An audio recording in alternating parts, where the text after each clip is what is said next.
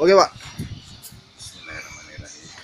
Kami masyarakat Desa Lori, Kabupaten Pasir menyatakan sikap sebagai berikut.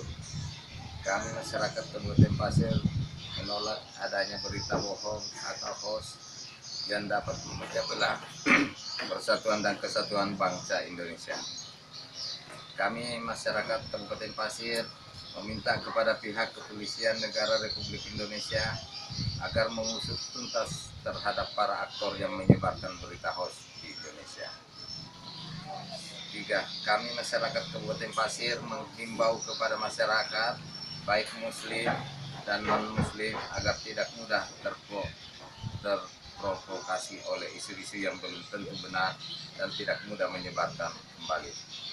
Mari kita selamatkan Kabupaten Pasir dari berita yang tidak benar atau hoax dan ujar kebencian sesuai dengan moto Kabupaten Pasir. Pasir bueng kesong, pasir berhati baik.